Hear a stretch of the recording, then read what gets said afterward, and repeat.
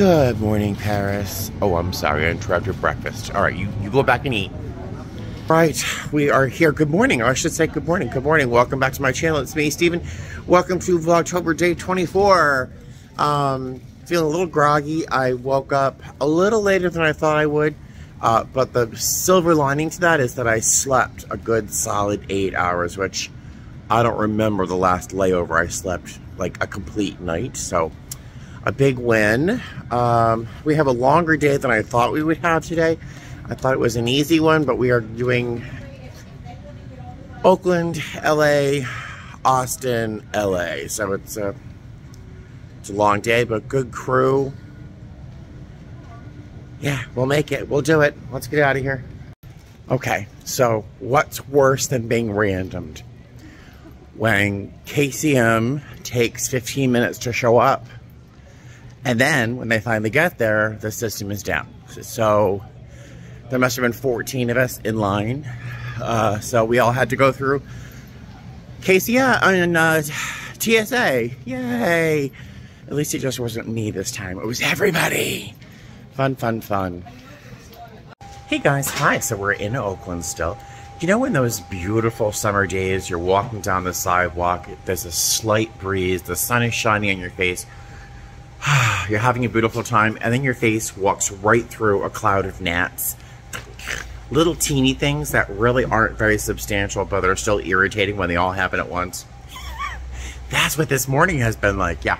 Um, nothing big, nothing big, nothing traumatic. It's just, let's get out of here. You know, like KCM was down after 15 minutes of waiting for KCM. So we all had to go through TSA. Um, our um, the gate agent is battling a whole bunch of people who are very unpleasant out there. So that kind of spills over into the edge of the plane here. Um, just, uh, yeah, lots of little teeny things, but nothing of any real consequence. So there's that. Um, do I ever not complain in a video? I don't know. But uh, yeah, I'm looking forward to today. We have, again, once again, great crew. Uh, I'm anticipating fantastic passengers because Austin's awesome and the passengers are great. So yeah, all right, let's get this day started and uh, finished, right? Hey guys, we're in LA, uh, and now that all that little irritations, those little gnats, all that dust has settled, I've discovered it was a really nice flight, really, really nice time. My chaser and I are really getting, getting along beautifully. I didn't think we were doing a great job together the first day, but I, I don't know, we just, we weren't on the same page or something. She's going through a lot, I'm not, so, you know, whatever. But today we're, we're talking, and in my back of my head, I'm thinking, I really like her. like we really like we think very much alike. So I'm really really enjoying. I'm really enjoying my chaser. We're having a nice time. Um, and the best my rest of my crew, you know, I love them. We had a great time yesterday. So no complaints. Really nice passengers. Really nice passengers. Um, yeah, there you go. That's it. We're in LA. We got 147, 145 passengers going to LA with us. Uh, flight time is going to be two hours and 28 minutes yeah, that's it. Freshly catered. So we're poised to have another nice flight. All right, let's get out of here. Let's go to, um, to Austin. Ta-da! I made it to Austin. Um, amazing flight, really nice flight.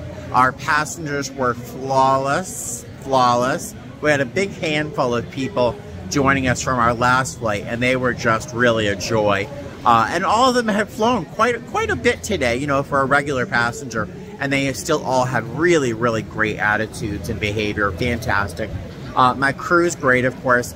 My chaser, I think I said it earlier today, I just don't think we were on the same page yesterday. Mostly because she's going through a lot of challenging things uh, lately. But, um, you know, she, she and I just had the best connection today amazing conversations. I think they're only kind of conversations like middle-aged people can have with each other. You know, just real honest. Uh, and uh, just a real, real treat. Really good time. Uh, we have roughly two hours here in Austin. Uh, so I chose to get off the plane to use the little boys' room, of course, and maybe grab some hot food, maybe a hot coffee. This airport is spectacular. That's pretty fantastic. Got, uh, you know, Starbucks, of course. really fun shops. Uh, and you hear the music behind me. There's actually live music happening at this hamburger joint. I mean, really fantastic airport. Grab a bite to eat. Again, use a little boy's room. And why do I feel the need to always tell you when I have to go to use a little boy's room? I don't know. You've probably recognized that. Sorry. Uh, but yeah, yeah, it's a good day so far. So uh, I will see you later on. I mean, look at this. It's uh, like fake food trucks, and there's literally a stage with musicians playing. And this is an airport. This is like a travel destination. How awesome is this? Love this. Oh, excuse me, honey. I'm sorry. All right, so of course I brought food with me to eat on the plane, but I couldn't resist this pizza. Apparently, it's like Formula One or something here, which might explain why it's so busy, but this place is packed. I got one hour and then on to LA. So, uh, yeah, let's go. Just checking to see if I have uh, pizza in my mustache. I think I'm good so far. Um, I just had the most amazing interaction with um, a fellow traveler here in the airport. I had stopped for pizza it was very busy. There was nowhere to stand. So she invited me to share her table. And she was an older woman, probably in her mid 70s. But she reminded me a little bit of Diane Keaton. If you know her hairstyle, just really classic, on point, dressed beautifully. And um, we just had the most amazing, amazing conversation about, gosh, I mean, really everything. We spoke to for probably a half hour about finding how would I describe it? How to find magic in your as you get older, satisfaction as you get older, and the things that change. And we really had, a, it was like metaphysical kinds of conversation, really satisfying, unbelievable. She uh, is moving from Texas to Kansas City because she says, I think I'm young enough to still have an adventure. And um, I mean, we really just had a fantastic conversation. I'm, I'm sure I'm not making much sense now, but it was a real high point of the day so far. So this has been a very nice day. I'm gonna head back to my gate, get comfortable, maybe close my eyes for a few minutes, and then I'll be on the way to uh, LA. What a nice day. What a nice day. All right, so I survived that flight from Austin to LA. It wasn't as bad as all that, but it was still a lot more work than I was used to because the first two legs were so easy. This The last one, eh, I'll tell you about it in a minute. Uh, but first, let's do a quick hotel room tour because I friggin' love this hotel room. It's like my favorite hotel room. Uh, let's start with the bathroom. We've got a very nice sh uh, shower. The wallpaper makes me think of a nice Goyard tote bag. Doesn't that look like a Goyard tote? Um, nice wide vanity, which is very nice. There's a little coffee section here. There is a smart fridge. The last fridge I had like that was not very smart, but we'll see what happens. I don't have a lot of food to keep uh, keep cold. Uh, the TV, very nice. I love this little section here. I love this table. I love the chairs. I love this mirror, which is ultra fantastic. I love that mirror.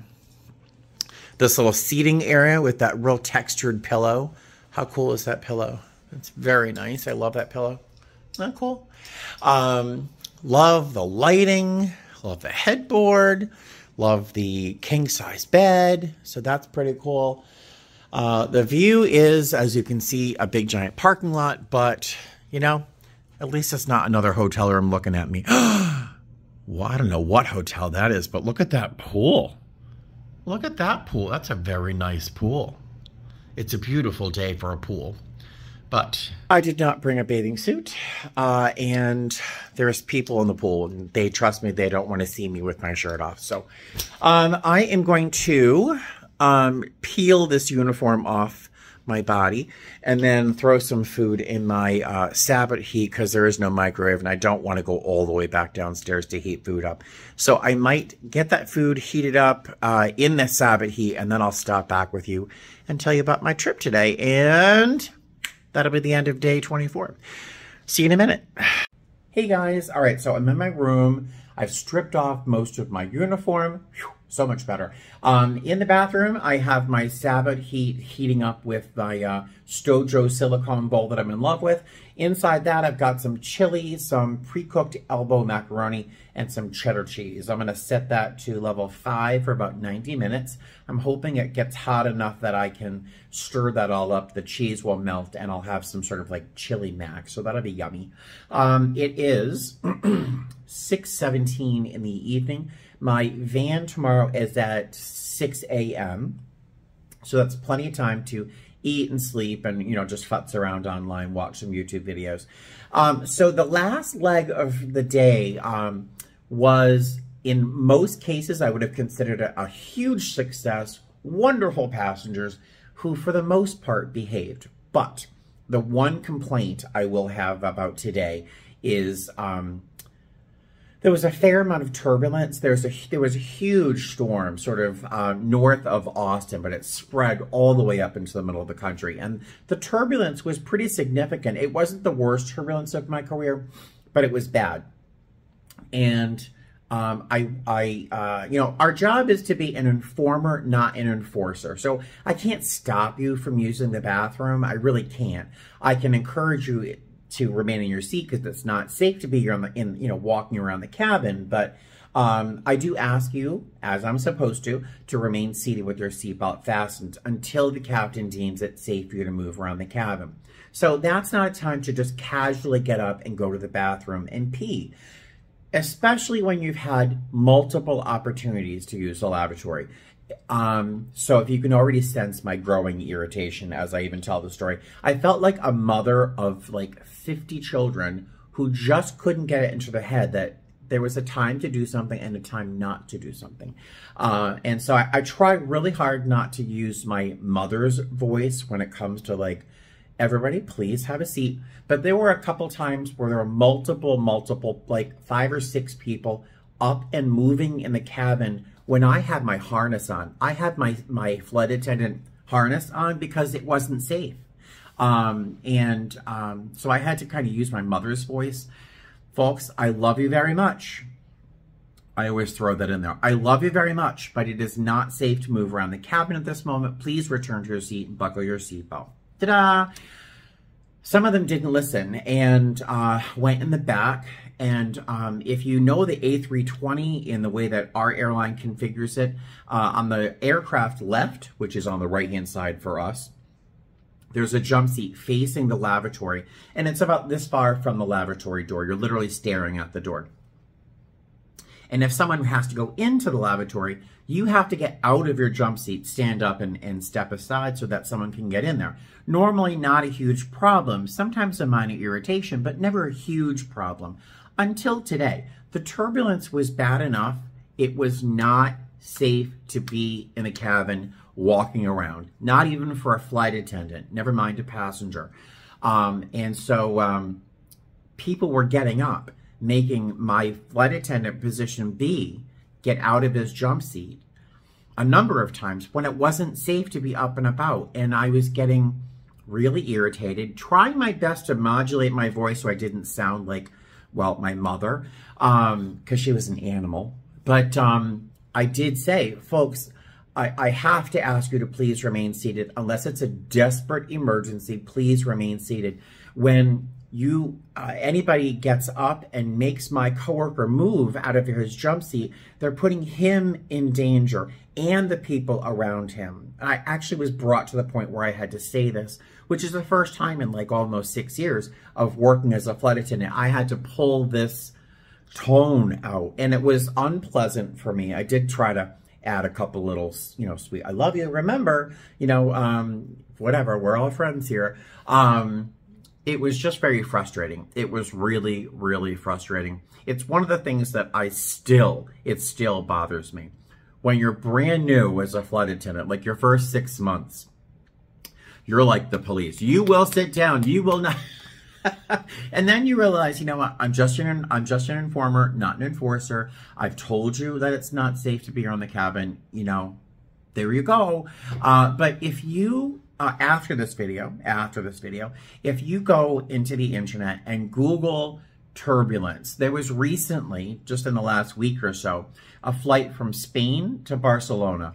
And when you hear these stories about turbulence, for some reason, not, I'm sorry, Spain to uh, Brazil, if you look at these stories, it's always cross across the Atlantic heading to Brazil. I don't know why, but these stories always happen. But it was a, a, a flight from Spain to Brazil, and there was extreme turbulence for people in the cabin. You know, the plane can handle it, but there was significant turbulence.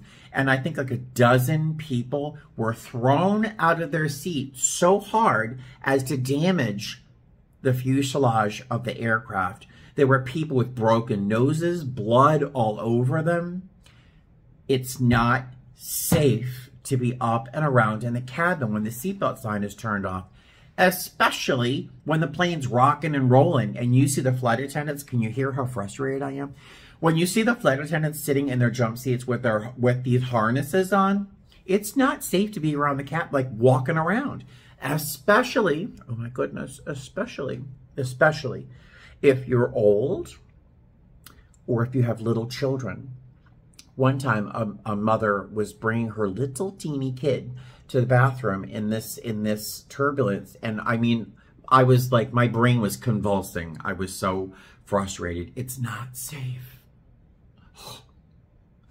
But, um, yeah, so I, I, really had to do my utmost to not sound like a total jerk when I was making my announcements. But I had to make a couple announcements that were like real, you know, like, please, people will get injured. Whatever. But, but, but, silver lining, if that's my biggest problem, hello, my life is fantastic. Uh, and uh, I was still feeling sort of jubilant from my experience with that lovely lady at the Austin airport. I mean, so she really saved the day. But um, yeah, that's been the day. That's been the day. It's been a good one. It's been a long duty day with a total of um, seven uh, hours in flight. So it wasn't a, a lightweight day, but it wasn't the worst ever blah, blah, blah. I'm really not giving you any new information. I'm just like rambling now because I'm over. I'm too hungry. So, um, yeah, I'm going to let you go. Thank you so much for joining me today for Vlogtober Day 24. I will see you tomorrow. Uh, we are going to be flying. We have another fairly long day with only four credits of flying. We're going to be flying from here to, I think, to Las Vegas, Oakland, back to Las, I don't know. We have four legs tomorrow. So, um, yeah, that's it. Blah, blah, blah. Let me let you go. I will see you tomorrow. Bye. Fly safe.